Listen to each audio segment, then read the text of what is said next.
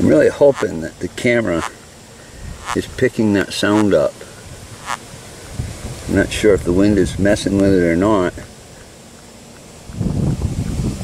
If you can hear that crunch, crunch, crunch, crunch, and that, that's a worm inside this log eating. There he is, right there. And he keeps dropping down in. If he can bite like that, I'm not sure I want to pick him up. Well, where'd he go?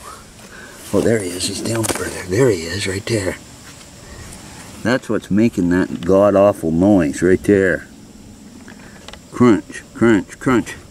They chew on pine trees. I don't know what the hell they are.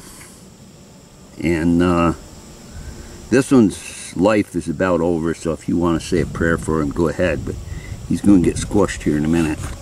I have no idea what they hatch into. Maybe I'll Google it, try to get a couple pictures. But that's what was making that crunch, crunch, crunch, er, er, er, noise. Weird, eh?